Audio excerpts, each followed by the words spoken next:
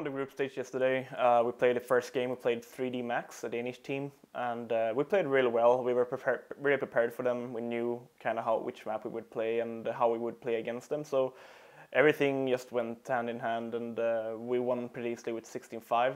Um, then we went on to the, uh, the group final against LDLC, a French team. They're they're also pretty pretty good, like on some specific specific maps. Um, but once again, we were prepared for them. Like we kind of knew what map we would play against them as well. So uh, everything just went as we expected it in the group stage. Uh, we felt like it.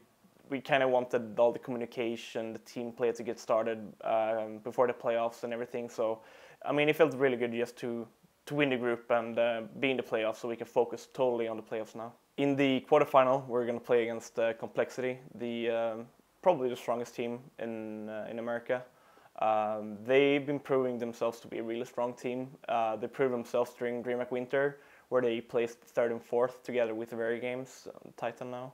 So uh, I mean, they're not a they're not a bad team at all, and um, we know that they have really good individual players. So uh, if we would beat them, we have to play on our top. So uh, that's what we're trying to prepare now. We have uh, we have to play at our best, and we have to play our own game to win against them.